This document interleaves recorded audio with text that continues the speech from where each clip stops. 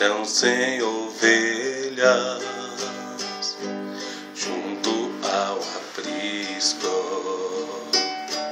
Eram sem ovelhas que o pastor cuidou. Porém, numa tarde, ao contá-las todas, lhe faltava uma, lhe faltava uma, e triste chorou.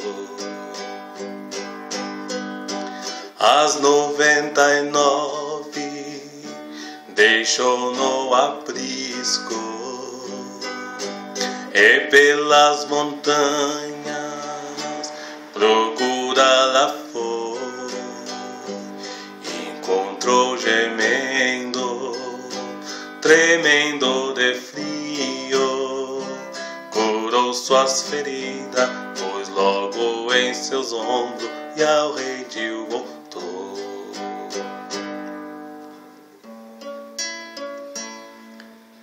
Essa mesma história volta a repetir-se, pois muitas ovelhas perdidas estão,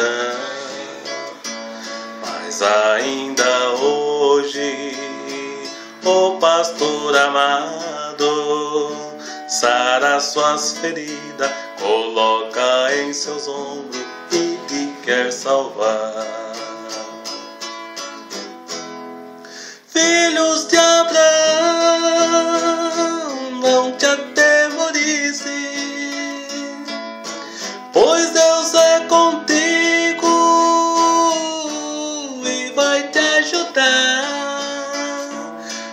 Na tua prova em que estás agora, não te atemorize, pois Deus é contigo, tu terás vitória.